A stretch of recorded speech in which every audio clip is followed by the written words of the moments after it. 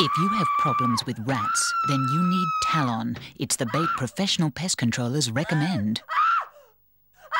So it's no wonder that Talon is the one rats fear most.